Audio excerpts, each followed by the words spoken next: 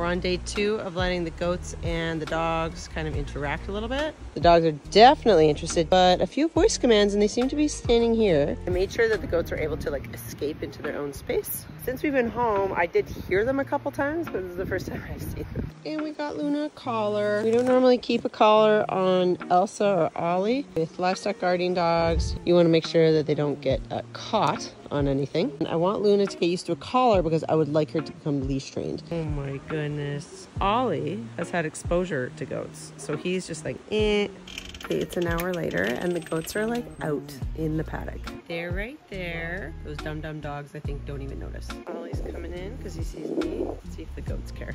All the dogs are coming. They're like, what? I want you all to be friends, but not chase each other like in a bad way. Do you know what I mean? Oh my gosh. Okay, no, too scared.